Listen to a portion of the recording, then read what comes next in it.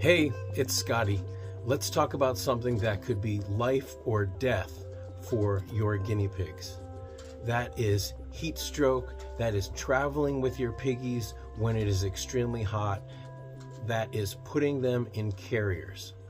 When guinea pigs are in carriers, especially really small ones, there's so many different types. There's these small fabric ones, there's these cat carriers, there are all different types of carriers. When you put your guinea pigs in those carriers, they can get hot. The material that those carriers are made with can get extremely hot.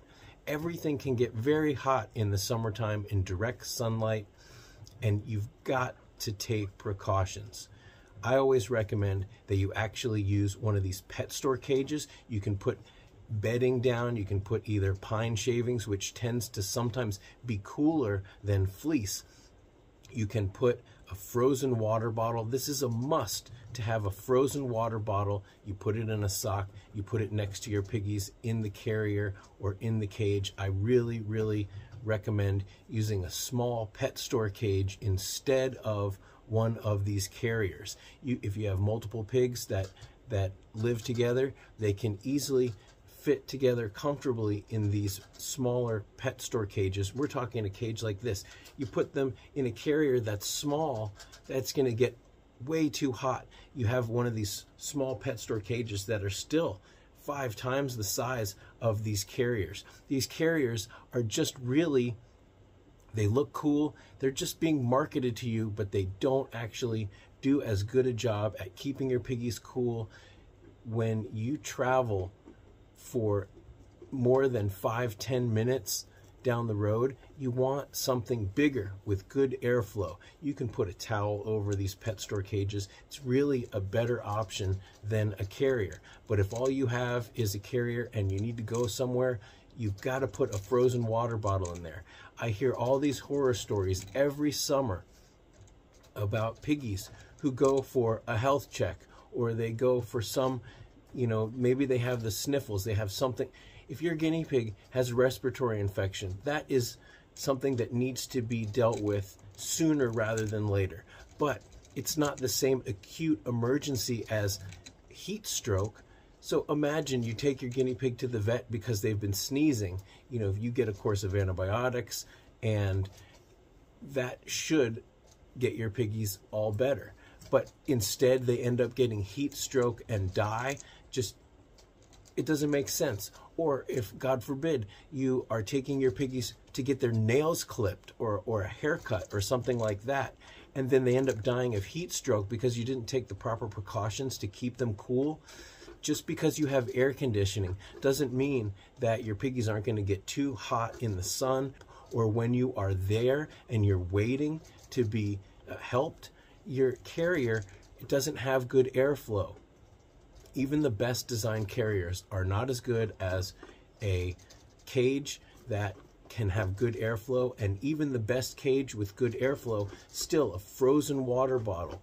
And if you can't do this then maybe that health check is not necessary. Maybe you clip your piggy's nails at home you know a guinea pig with ridiculously long nails that are two months uh, overgrown is still not as bad as them having heat stroke.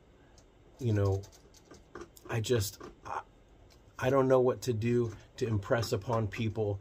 Uh, and, and, and when I'm at the rescue, I see people coming in, their piggies are overheating. They're in these tiny, tiny carriers. In fact, someone came last week uh, for boarding and their guinea pig, they, they brought a tub and tiny shoe boxes, like literal shoe boxes without any holes in them. And they were going to put their guinea pigs in the shoe box. It's 95 degrees outside. The shoe box and the bin is in the sun getting hot and you touch the plastic and it almost burns you. Even if you put that back in the car with air conditioning, it's still so hot. And how long is it going to take to cool down? Please, please, please, I don't want to hear any more heartbreaking stories. Just imagine, put yourself in their shoes. Here comes Pippi. So I want to make this video as short as possible. I'm going to end it here. So that someone can see the title, the description, and they will think, oh, this is a short video and it will help me and it will help everyone. So please hit that like button and maybe this video will get to more people. It's just, it's not worth the risk and it can be the difference between life and death. Get a bunch of water bottles right now, put them in the freezer, keep them there get some a pile of socks, put them in your drawer next to where your front door is so that you can grab a water bottle, you can put it in a sock and you can put it in your carrier. And you must have a small cage that you the pet store convinced you to buy that's been sitting in the closet. You know you can make a C&C cage like this but you can make it a two by two. You can make it any size that you want and you can make a little custom carrying cage. Now, I actually have an entire video about how to travel with your guinea pigs, and I'll put that right here.